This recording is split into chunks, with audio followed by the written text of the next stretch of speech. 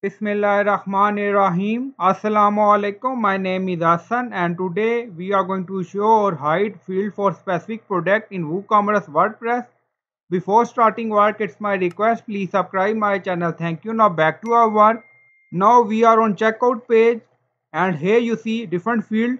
So go to dashboard. We are going to install plugin. Scroll down on left side you see plugin. So click on add new and in search plugin write checkout field manager so this is plugin checkout field manager for WooCommerce we will use so click on install now then click on activate it. Now plugin is activated and scroll down on left side you see WooCommerce and then you see checkout so click on it. Now scroll down you see billing so click on it. Now scroll down you see billing field.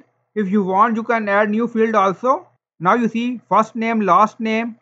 So we are going to hide or show. So company field. So click on edit. Now edit field open and then you see filter so again click on it. And now here you see show for product hide for product. So you can add product here also. So click on it and write here product. So this is product select and then click on save. Now this company field only show for gadget product. Now click on close. Now go to shop page and scroll down. You see different product here. Now company field only show for gadget product. Now add another product. Add to cart now product added, open cart page. Now click on proceed to checkout. Now checkout page open and scroll down. You see first name, last name. Now you see country. Now company name field not show here. So in this way you can hide field. Now go to shop page again. So click on it. Now scroll down. You see gadget product. So click on add to cart. Now product added. So click on cart page. Now scroll down. Click on proceed to checkout.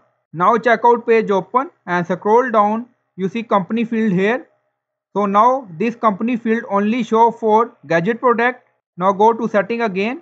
So click on edit and now filter.